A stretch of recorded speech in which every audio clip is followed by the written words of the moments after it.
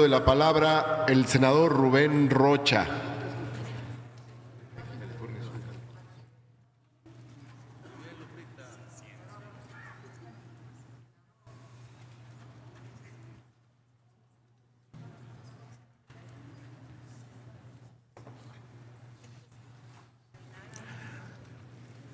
Gracias, señor presidente.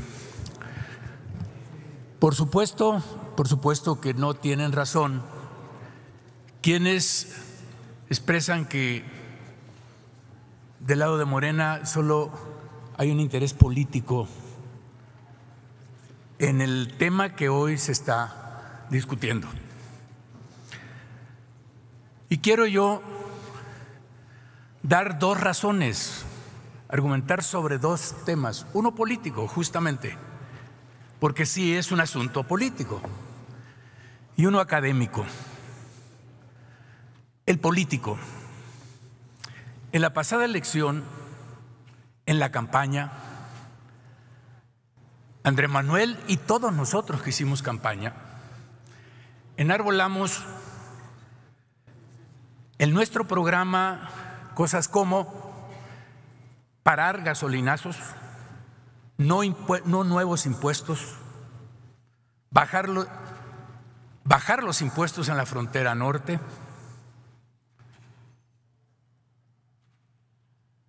Y junto con esto se planteó cancelar la reforma educativa.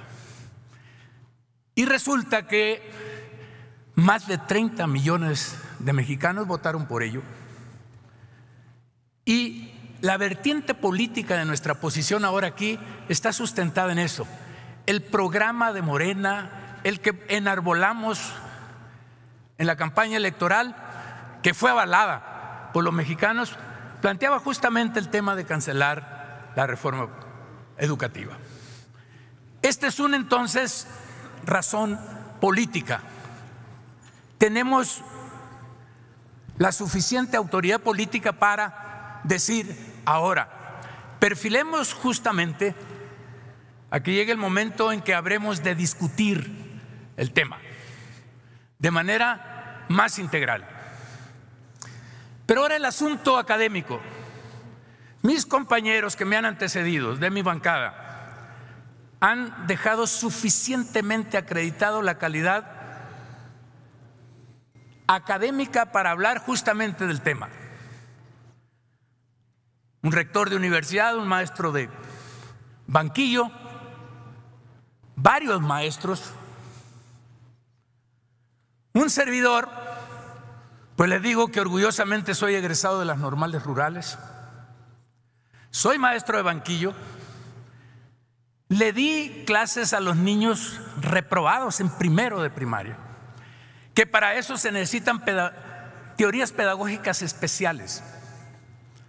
Me formé como universitario, fui rector de la Universidad Autónoma de Sinaloa.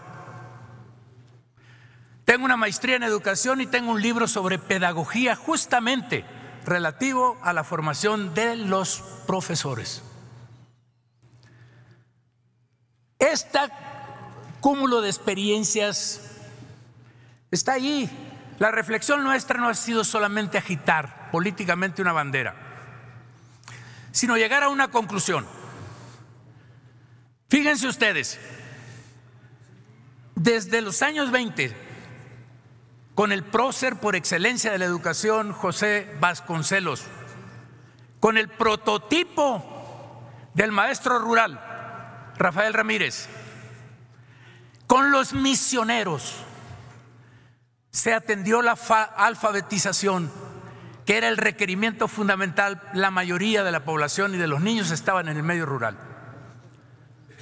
Pasó esa etapa y vino una nueva etapa que se atendió a los maestros 1945 se formó el Instituto Federal de Capacitación del, Magisterio.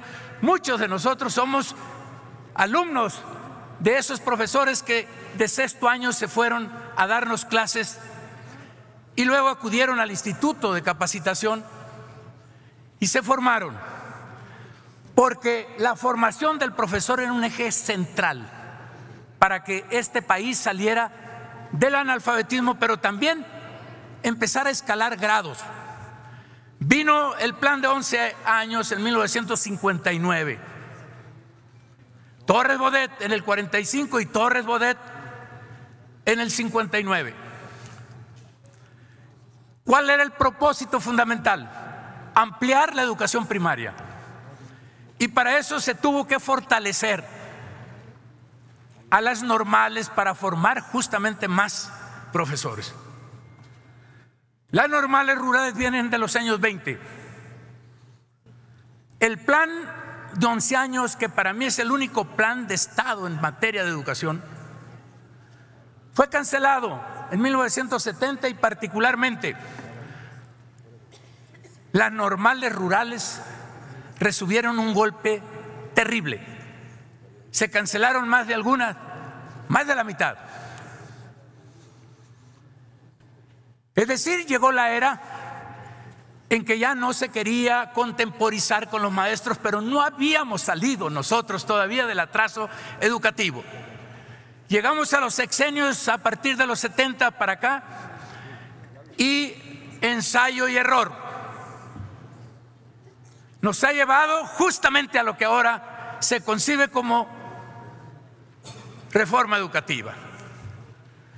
Esta reforma educativa que puso su acento en el tema de la evaluación, pero de carácter punitivo. Los que somos maestros sabemos que la educación, que la evaluación no puede ser represiva, no puede ser solemne. ¿Y qué más solemne, por ejemplo, las evaluaciones que le han hecho a los profesores llevando a las policías para que cuiden justamente los recintos donde está haciendo la evaluación? Se ha falseado el tema principal de la educación.